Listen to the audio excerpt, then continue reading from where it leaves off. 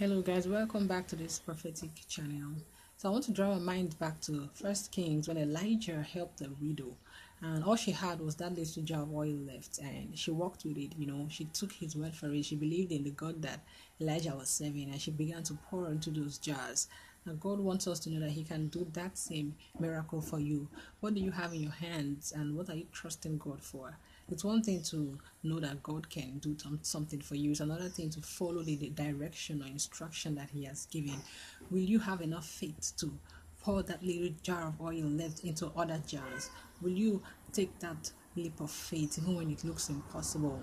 God wants us to go to that mountain and actually move if He has said you should. If he says you should move to this direction and you will see what you are looking for.